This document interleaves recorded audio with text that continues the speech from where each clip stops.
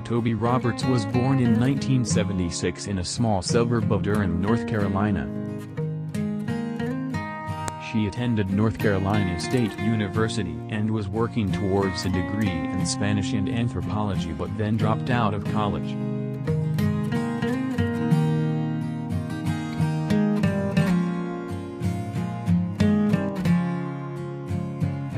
March 9, 2000 Leah Roberts talked on the phone with her sister Kara about future plans.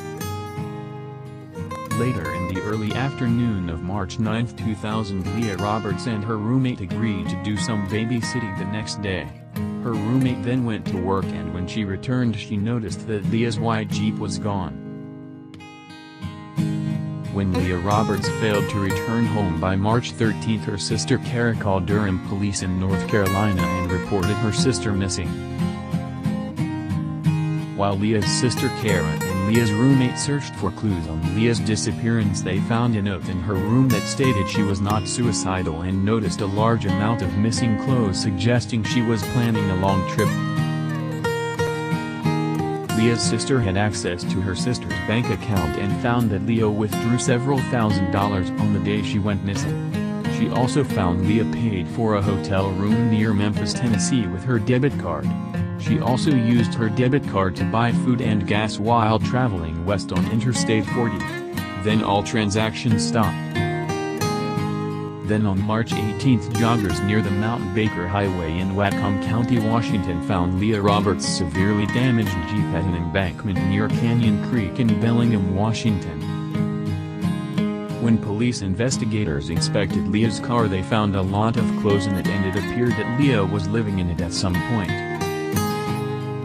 Also investigators determined that Leah's car was traveling at least 40 miles per hour when it crashed and it also appeared the car had rolled several times. But there was no sign of anybody being in the car during the wreck the seatbelts were not stretched out and there was no blood anywhere in the car. Investigators believe the wreck was staged. Investigators also found a ticket stub for March 13 for the showing of American Beauty in Leah's Jeep. Then investigators traced her activities to a restaurant near Brooks, Oregon where two men said she left the restaurant with a guy named Barry.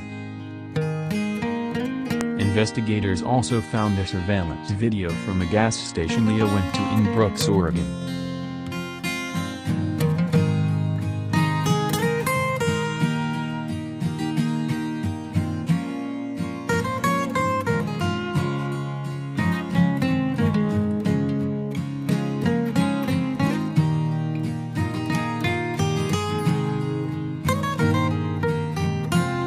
Last creditable sighting of Leah Roberts was when a man called Whatcom County Sheriff's Office stating that his wife saw Leah Roberts disoriented wandering around a gas station in Everett, Seattle. The man then became panicked and hung up without giving his name. To this day the whereabouts or Leah Toby Roberts is still unknown and the investigation into her disappearance is still ongoing.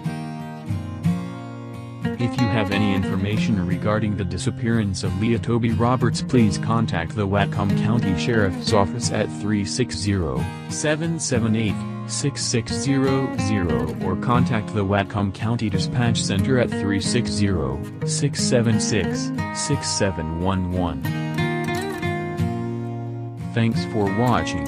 Put any suggestions for a future Lost Souls video in the comments below. Also feel free to put your own theory of what you think may have happened to Leah Roberts in the comments. And subscribe if you would like to see similar videos. And feel free to share and give this video a thumbs up.